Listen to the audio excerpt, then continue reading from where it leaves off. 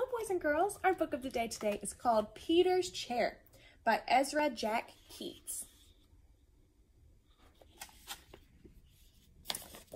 Peter's Chair.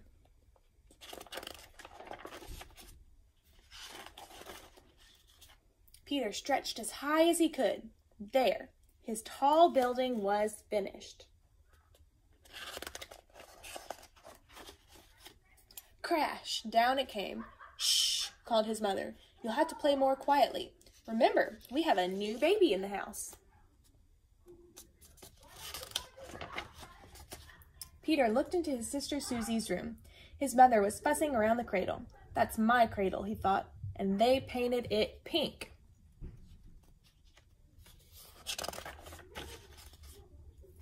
Hi, Peter, said his father. Would you like to help paint Sister's high chair? It's my high chair, whispered Peter.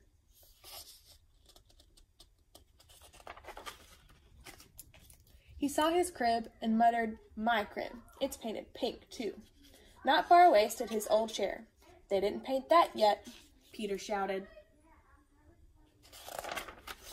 He picked it up and ran to his room.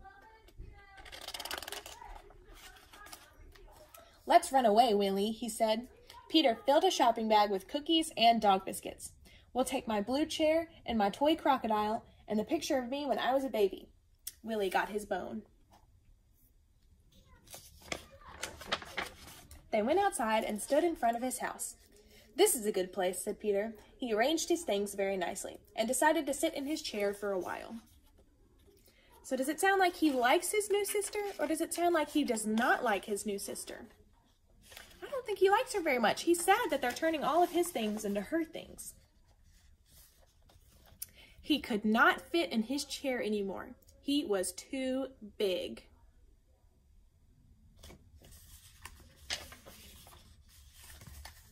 His mother came to the window and called, Won't you come back to us, Peter dear? We have something very special for lunch. Peter and Willie made believe that they did not hear. But Peter got an idea. Soon his mother saw a sign that Peter was home. That rascal is hiding behind this curtain, she said happily.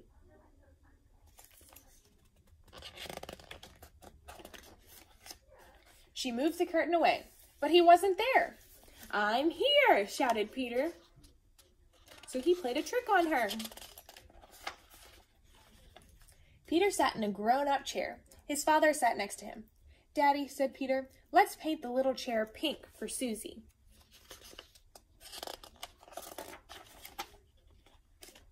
And they did. So in the end, Peter realized that he was getting too big for all of those, th those things anyway, so he needed to share it with his new little sister so that she could have some things too.